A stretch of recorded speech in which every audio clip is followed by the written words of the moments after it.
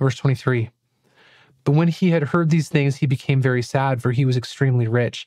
And Jesus looked at him and said, How hard it is for those who are wealthy to enter the kingdom of God. For it is easier for a camel to go through the eye of a needle than for a rich man to enter the kingdom of God. They who heard it said, Then who can be saved? But he said, The things that are impossible with people are possible with God. Unfortunately, while one would have hoped that the, this ruler would have heeded Jesus' charge, the text states that he was saddened by Jesus' response to his due to his vast wealth. Much like in the case of this wealthy ruler, the world values wealth, power, and influence. The values presented to us promote the pursuit of such, and yet the reality is that in the end, even when one possesses vast riches, living a life in denial of the calling of Christ leaves us empty and unsatisfied. Truthful.